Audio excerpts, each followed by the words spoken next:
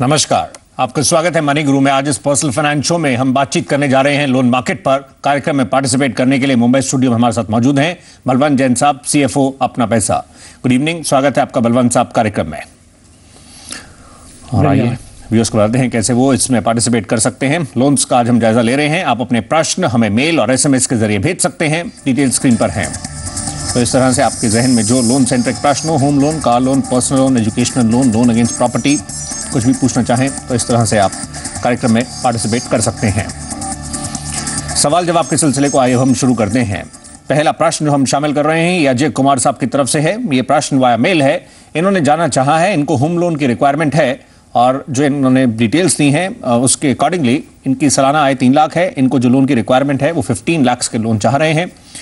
इसमें बलवंत साहब कई सारे फैक्टर्स होंगे जो देखे जाएँगे। लैंडर्स जो काफ़ी कुछ चेक करेंगे, लेकिन जो इन्होंने स्पेसिफिकली अपनी आय के अकॉर्डिंगली एलिजिबिलिटी जानने की कोशिश की है उसको आप कैसे इनके समक्ष रखना चाहेंगे? जो आय जिसका 40 45 परसेंट तक ई के अ, रूप में फॉर्म किया जा सकता है अगर ये लोन्स के लिए आगे इनका बाकी सब कुछ पैरामीटर्स ठीक हैं आप इनको कैसे देखते हैं? जो जितने लोन की रिक्वायरमेंट है उसको आप कैसे इनके समक्ष रखेंगे?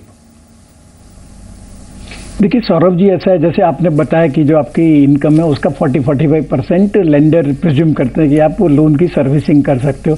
तो उस क्राइटेरिया के हिसाब से जो आपकी एनुअल इनकम है उसका चार से साढ़े चार गुने तक का होम लोन मिल सकता है। तो इनकी जैसे इनकम तीन लाख है तो जो लोन है उनको चार गुना आप देखिए, तेरह, चौदह लाख के आसपास, पंद्रह लाख तक लोन मिल सकता है। बशर्ते उनकी जो उम्र है वो चालीस साल हो, और जो लोन है वो बीस साल तक का मिलता है।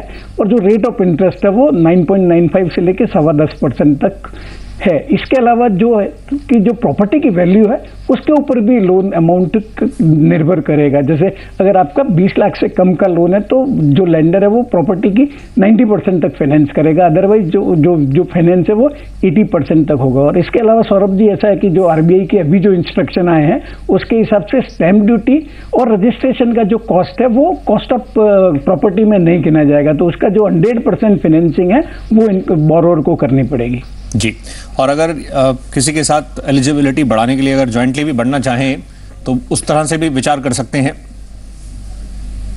हाँ सही बताया सौरभ जी जैसे अगर आपकी जो इनकम है वो अगर सफिशिएंट नहीं है आपको जितना लोन चाहिए तो जो, जो परमिसिबल बोरोर्स है जैसे आपकी स्पाउ, आपके स्पाउस है आपके पेरेंट्स है आपके बच्चे हैं उनको आप को बोरोर बना सकते हैं तो आपकी जो जो ओवरऑल लोन एलिजिबिलिटी है वो बढ़ जाती है। और कुछ कुछ केसेज में ब्रदर्स को भी जैसे को बोरोर परमिट करते हैं पर सब लेंडर नॉर्मली ब्रदर और सिस्टर को कंसिडर नहीं करते पर जैसे बच्चे हैं पेरेंट्स हैं और आपके जो स्पाउस है उनको ज्वाइन करने से आपकी एलिजिबिलिटी बढ़ जाती है।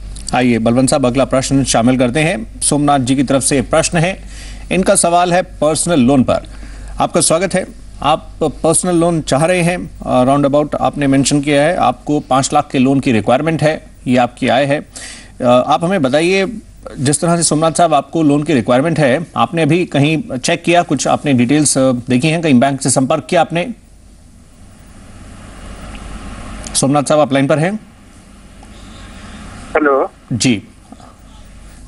अ, इनसे हम कुछ देर में हम संपर्क स्थापित करेंगे। इनफैक्ट ये जो डिटेल्स हैं ये सोमनाथ साहब की हम स्क्रीन पर देख रहे हैं। सोमनाथ साहब ने ये जो प्रश्न भेजा है ये हम इसकी डिटेल्स जिस तरह से बलवंत साहब इनकी जो रिक्वायरमेंट है आप इनको कैसे देखेंगे? इनका बेसिकली पर्सनल लोन जो लेना चाह रहे हैं इसमें अभी जो पूरा ओवरऑल सिनेरियो है इसके बीच में लेंडर्स कैसे कॉल ले रहे हैं? जो इकोनॉमी भी जिस दौर से गुजर रही है क्या उसका भी इम्पैक्ट रहता है? मतलब लेंडर्स जब कॉल लेते हैं आप किस ऑर्गेनाइजेशन में हैं, कितने समय से हैं, क्या प्रोफ़ाइल है, काफ़ी कुछ देखा जाएगा। ये आप इस समय जो प्रेजेंट सीनेरियो है, इसको इनके समक्ष कैसे रखेंगे और कैसे ये बढ़े आगे? देखिए, सौरभ जी, ऐसा है, आपने सही बताया कि जैसे अभी जो इकोनॉमिक सिचुएशन है इतनी अच्छी नहीं है जॉब कट्स वगैरह हो रहे हैं। तो जो लैंडर है, वो पर्सनल लोन जो देने में और ज़्यादा हिचकिचाने लग गए हैं। और जहाँ तक सवाल है कि आपकी कितनी एलिजिबिलिटी बड़े, बनेगी, वो आपकी, वो डिपेंड करता है आप कहाँ पे काम करते हैं। आपके जो एम्प्लॉयर है, उसका क्या प्रोफ़ाइल है? अगर बड़ी लिस्टेड कंपनी है या पब्लिक सेक्टर ऑर्गेनाइजेशन है तो आपको रेट भी अच्छा मिलता है और एलिजिबिलिटी ज़्यादा मिलती है। पर नॉर्मली जो जो जो पर्सनल लोन की एलिजिबिलिटी है, वो आपकी मंथली इनकम का नौ गुना से अट्ठारह गुना के बीच में रहती है पर निर्भर करता है जैसे मैंने बताया कि आपका जो एम्प्लॉयर है अगर ए क्लास एम्प्लॉयर है जो जो लैंडर है उन, उनका कैटेगराइजेशन रहता है एम्प्लॉयर के हिसाब से। और अगर ए कैटेगरी है तो आपको रेट भी अच्छी मिल जाती है और अठारह महीने तक का आपको पर्सनल लोन भी मिल जाता है। और जो नॉर्मली रेट है पर्सनल लोन की जो इंटरेस्ट रेट है वो अठारह से चौबीस परसेंट के आसपास रहती है क्योंकि लेंडर के पास कोई सिक्योरिटी नहीं होती है। तो अगर आपके पास अगर कोई सिक्योरिटी देने के लिए हो तो मैं सुझाव दूँगा कि आप वो सिक्योरिटी के सामने आप लोन ले लीजिए तो आपकी जो रेट ऑफ़ इंटरेस्ट है, वो कम पड़ेगी। जी। तो इस तरह से जो कुछ ऑफर्स है, हम स्क्रीन पर रन भी कर रहे हैं, और इनका, जैसे इन्होंने बताया वर्किंग है, और जिस ऑर्गेनाइजेशन में है, उसमें पिछले दस साल से हैं ये सेम ऑर्गेनाइजेशन के साथ। तो जहाँ पर इनका अकाउंट है सैलरी अकाउंट सबसे पहले क्या आप वहाँ पर कदम रखें? ऑफ़र जो है मार्केट में वो तो स्क्रीन पर है, लेकिन सबसे पहले क्या वहीं पर ट्राई किया जाए? ये तो सौरभ जी, ऐसा है, आपको पर्सनल लोन ही नहीं, कोई भी लोन अगर लेना है, आपका जो बैंकिंग रिलेशनशिप जिस बैंक के साथ में है, उसको अगर अप्रोच करेंगे तो उनकी पास में आपकी क्रेडिट जो ट्रांजेक्शन की हिस्ट्री वगैरह है तो वो लेंडर ज़्यादा कंफर्टेबल होता है और आपकी भी जो प्रोबेबिलिटी है, वहाँ से लोन मिलने की फेवरेबल टर्म पे बढ़ जाती है। तो किसी को भी लोन लेना इवन बिज़नेस लोन भी लेना हो तो आपको सबसे पहले जो आपके एग्जिस्टिंग बैंकर जहाँ पे आपका करंट अकाउंट है या सेविंग बैंक अकाउंट है, उनको अप्रोच करना चाहिए और वहाँ से मोस्टली मिल ही जाता अगर आपकी क्रेडिट रिकॉर्ड वगैरह अच्छे हो तो। आइए अगले सवाल की ओर मूव करेंगे। ये सिविल संबंधित सवाल है और ये सवाल है अमित कुमार साहब की तरफ़ से और अमित साहब लाइन पर मौजूद हैं। अमित साहब आपने जानना चाहा है सिविल के बारे में प्लीज़ क्या एग्जैक्टली जानना चाहते हैं? आपने स्कोर के बारे में भी जानना चाहा। आपने क्या खुद अपना स्कोर चेक किया है? अभी आप किस तरह से आपकी स्टैंडिंग है? अभी मैंने लगभग एक साल पहले अपना स्कोर चेक किया था। जी। देन मेरा स्कोर सात सौ पंद्रह। ओके सात सौ पंद्रह मेरा स्कोर जी। तो मैं ये जानना चाह था कि इतना स्कोर इनफ है मुझे लोन लेने के लिए या फिर कुछ इम्प्रूवमेंट की ज़रूरत है? आपको लोन की अभी ज़रूरत है क्या आप कोई लोन लेना चाहते हैं? हाँ जी। अभी मैं टू व्हीलर लोन के लिए अप्लाई करना चाह रहा था। आपने अप्लाई अभी किया नहीं है? नहीं अभी अप्लाई नहीं किया। पलवन साहब जिस तरह का स्कोर बता रहे हैं ब्लेंडर्स इस जो स्कोर स्पेसिफिकली जो इन्होंने बताया, उसमें कंफर्टेबल आपको लगता है होंगे, क्योंकि ये 700 प्लस स्कोर बता रहे हैं। और जिस तरह का भी जो ट्रेंड है, उसको आप इनके समक्ष कैसे रखेंगे? मतलब इस स्कोर को लेकर ये खुद भी कंफर्टेबल रहे और लेंडर्स भी क्या कंफर्टेबल रहेंगे? देखिए, सौरभ जी, ऐसा सिविल के जो डेटा है, उनके हिसाब से जो 90 परसेंट जो लोन है, वो उन लोगों को ही दिए गए हैं जिनका सिविल स्कोर 700 के ऊपर है। तो इनका जैसे बता रहे हैं 715 है तो बॉर्डर लाइन केस है। तो वो 90 परसेंट की कैटेगरी में आ जाते हैं तो उनको लोन मिलने की संभावना है। परंतु आपका सिविल का स्कोर अच्छा है, यह एकमात्र प्रूफ नहीं है कि आपको लोन निश्चित रूप से मिल जाएगा। इसके अलावा भी बहुत सारी चीज़ें हैं, जैसे आपकी जो इनकम है, आपकी इनकम की कंटिन्यूटी है, आपका जो पुराना, जो रीपेमेंट रिकॉर्ड वगैरह है आपकी डिस्पोजेबल इनकम कितनी है आपका प्रॉपर्टी या जो भी लोन जिसमें लेना चाहते हैं उसका वैल्यू वगैरह कितना ये बाकी जो सर्कमस्टेंसेज है और बाकी फैक्टर भी लेंडर कंसिडर करता है। पर ये प्राइमा पैसे अश्योरेंस दे देता है लेंडर को कि अगर क्रेडिट स्कोर सिबिल का 700 के ऊपर है तो उसके डिफ़ॉल्ट होने की संभावना बहुत कम है।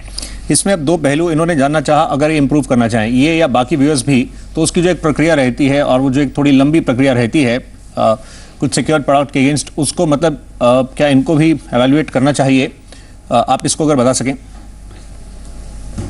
देखिए सौरभ जी ऐसा है कि क्रेडिट स्कोर आपके स्वास्थ्य के जैसा है। आपको स्वास्थ्य अगर इंप्रूव करना है तो आपको रेगुलर एक्सरसाइज वगैरह जो आपका जो शेड्यूल है वो मेंटेन करना चाहिए। ऐसा का ऐसा? जो अगर आपको सिबिल का स्कोर अगर इंप्रूव करना है तो आपका कोई भी लोन वगैरह लिया हुआ उसका रेगुलर पेमेंट करते जाइए टाइम टू टाइम पेमेंट कर दीजिए। और जहाँ तक सवाल है जिनका सिबिल का स्कोर खराब हो गया है और जिनको कहीं से भी लोन नहीं मिल पा रही है तो उनके लिए मेरा सुझाव रहेगा कि या तो आपके पास कोई पैसा रखने को एफडी कर लीजिए एफडी के सामने क्रेडिट कार्ड ले लीजिए, उसका रेगुलर पेमेंट दे दीजिए। या आपके पास कुछ असेट रखने को, जैसे एनएससी है किसान विकास पत्र वगैरह अगर रखने को उनको गिरवी रख के उसके सामने आप लोन ले लीजिए और उसको रेगुलर पेमेंट दे दे कर, करते रहिए। जैसे आपका जो जो रिपेमेंट का जो हिस्ट्री है वो सिबिल में रिपोर्ट हो जाएगा और ग्रेजुअली आपका जो अगर पुराना खराब रिकॉर्ड है वो पीछे चला जाएगा और जो अच्छा रिकॉर्ड है वो आगे आ जाएगा। तो आपकी जो क्रेडिट स्कोर है वो भी इंप्रूव हो जाएगा इन ड्यू अच्छा, मैं ये बताना चाहूँगा सौरभ जी कि ये थोड़ी लंबी प्रोसेस है। आप समझो कि आपने लोन लिया और छह महीने बाद में ही आपका credit score drastic drastically improve हो जाएगा तो वो संभव नहीं है। कम से कम दो तीन साल लगेंगे। जी ब्रेक का समय पर चलते चलते एक ब्रीफ में सिविल सेंटर की आपसे हम और रिएक्शन चाहेंगे 700 प्लस जिनका स्कोर है, उनके लिए तो चलिए जिस तरह से हम देख रहे हैं मेजरली उसी सेगमेंट को लोन्स दिए भी जा रहे हैं, लेकिन जिनका उनसे कम है इनफैक्ट 700 के नीचे, साढ़े छः के आसपास या उसके नीचे, उनके लिए क्या बहुत मुश्किल होगा? मतलब लेंडर से किसी प्रकार का लोन लेना मतलब जो हम बता रहे हैं, आप स्कोर इम्प्रूव किस तरह से करें, लेकिन क्या उनके लिए बहुत टफ है? मतलब अगर इस तरह की स्कोरिंग है देखिए सौरभ जी, ऐसा है कि असंभव जैसा शब्द मैं यूज़ नहीं करना चाहूँगा, पर अगर आपका सिबिल का स्कोर 700 से नीचे है तो लैंडर को लगता है कि ये बोरोर है, उसके डिफ़ॉल्ट करने की संभावना ज़्यादा है। और अगर किसी को लगता है कि ये बोरो करेगा और डिफ़ॉल्ट कर देगा तो उसको कोई भी व्यक्ति लैंड नहीं करेगा। तो 700 से अगर नीचे किसी का स्कोर है तो उसको लोन मिलने की कम संभावना है। पर जैसे मैंने बताया कि 90 परसेंट लोन 700 से ऊपर वाले को है तो 10 परसेंट लोन फिर भी जिनका स्कोर 700 से कम है, उनको भी मिलता है, उनके पास में और दूसरे एविडेंस होंगे प्रूव करने के लिए कि उनकी रिपेमेंट की कैपेबिलिटी है, या स्कोर खराब हो गया, उसके पीछे उनका कोई जेन्यून रीजन था। तो बाकी नॉर्मली नॉर्मल सर्कमस्टेंसेज में सात सौ से नीचे स्कोर है तो लोन मिलने की संभावना बहुत कम है। जी तो ये है आपके लिए डिटेल्ड रिप्लाई अमित कुमार साहब। बाकी जानकारी स्क्रीन पर है। इसके हिसाब से आप आगे बढ़िए। हम फ़िलहाल ब्रेक के लिए रुक रहे हैं। जायजा आज लोन मार्केट का लिया जा रहा है। जल्दी लौट कर आते हैं।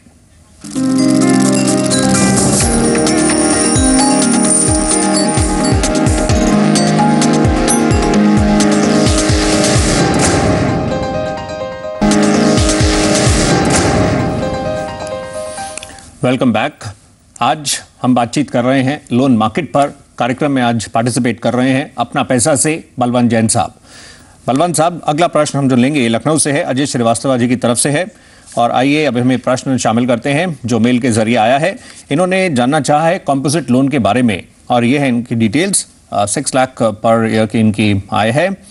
और इस तरह से इनको ये लोन की रिक्वायरमेंट है मतलब प्लॉट के लिए लेना चाह रहे हैं, उस पर फिर कंस्ट्रक्शन भी करना चाहते हैं यानी कॉम्पोजिट लोन के तहत ही आगे बढ़ना चाह रहे हैं। आप इनको कैसे बताएँगे? मतलब इसको लेकर किस तरह से ये अप्लाई कर सकते हैं? कैसे आगे मूव करें? अगर वो प्लॉट जो अप्रूव्ड एरिया में है बाकी सब फैक्टर्स हैं तो इनकी आय के अकॉर्डिंगली और इसके जो नॉर्म्स हैं एग्जैक्टली exactly, वो आप इनके समक्ष रख सकें।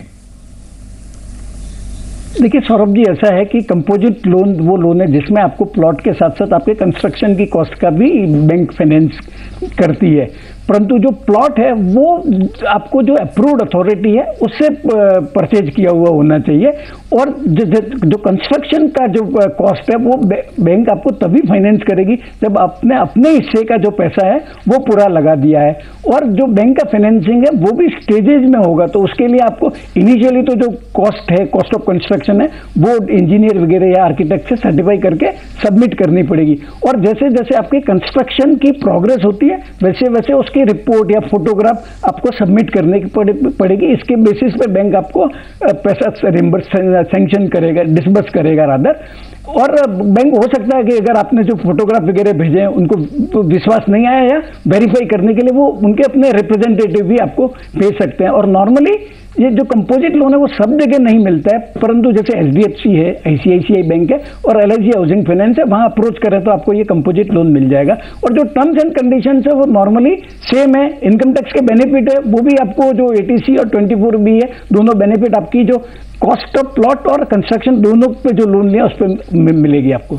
इसमें जिस तरह से एक समय बाद एक टाइम बाउंड तरीके से साथ में रहता है कि आपको कंस्ट्रक्शन भी जो है वो उस पर करनी है। अगर कोई इंडिविजुअल उस टाइम बाउंड तरीके से उसमें कंस्ट्रक्शन नहीं कर पाता है प्लॉट तो है, लेकिन कंस्ट्रक्शन नहीं हो पाई है तो उसमें किस तरह से फिर एग्जैक्टली exactly ये प्रक्रिया वर्क करती है?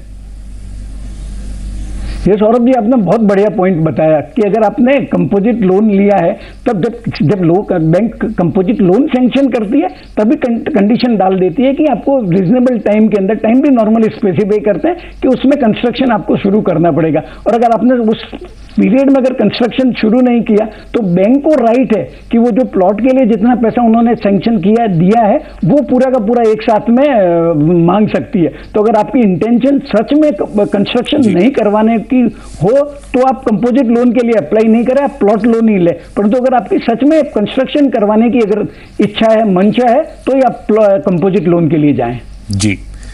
तो इस तरह से अजय श्रीवास्तव जी, आप आगे बढ़े। ये बाकी कंप्लीट डिटेल्स स्क्रीन पर आपके समक्ष हैं। अगला प्रश्न जो है, वो रितेश कुमार जी की तरफ़ से है। ये क्वेरी बेंगलुरु से है और इन्होंने जानना चाहा है पर्सनल लोन सेंट्रिक कुछ इश्यूज़ आ रहे हैं। हम आपका प्रश्न देख रहे थे रितेश साहब, और आपने ये बताया कि जहाँ पर आपका सैलरी अकाउंट है, आप वहाँ से पर्सनल लेना चाह रहे हैं, लेकिन लेंडर आपको नहीं दे रहा है। इसमें आप एग्जैक्टली क्या जानना चाह रहे हैं? आपने कहा कि आपका ये राइट भी है, क्या मतलब आप क्या एग्जैक्टली पूछना चाहते हैं? प्लीज़ बताइए। रितेश कुमार साहब, आप लाइन पर हैं?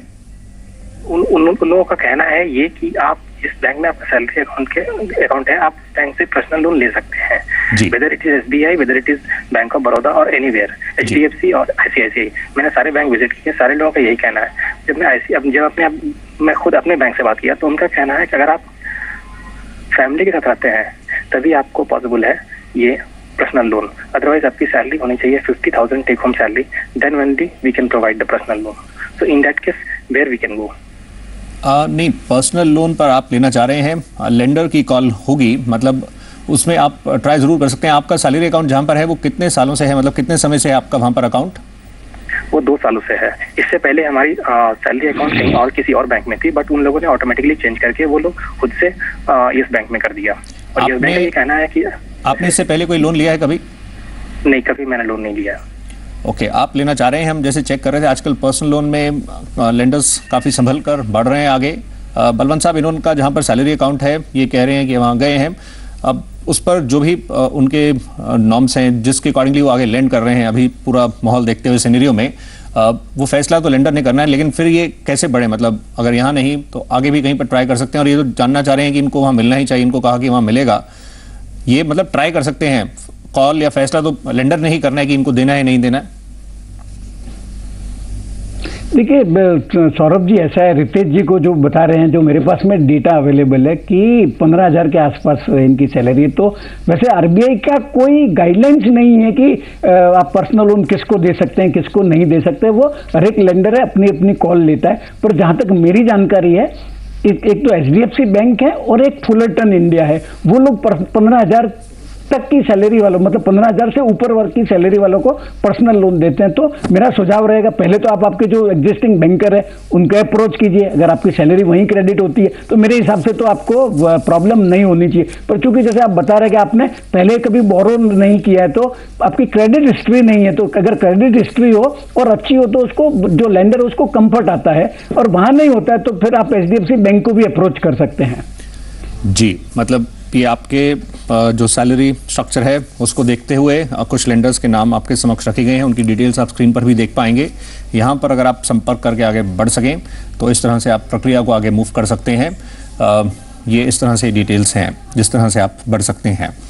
आइए अब अगला प्रश्न हम शामिल करते हैं। अगला जो सवाल है वो सुरेश कुमार जी की तरफ़ से है। अ, ये प्रश्न है जिस सेंट्रिक वो पूछना चाह रहे हैं अपना एक पेट्रोल पंप वो खुद का सेटअप करना चाह रहे हैं लेकिन अभी वो फ़िलहाल जॉब में है।